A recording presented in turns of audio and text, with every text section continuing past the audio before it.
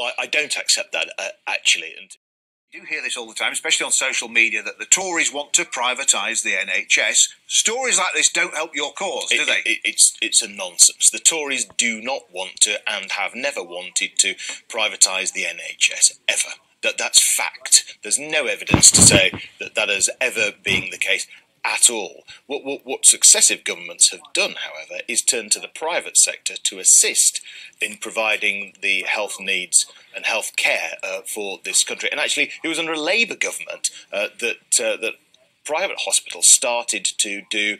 Uh, operations and the like and care uh, within uh, the public sector in actual fact. So, so that's been the case.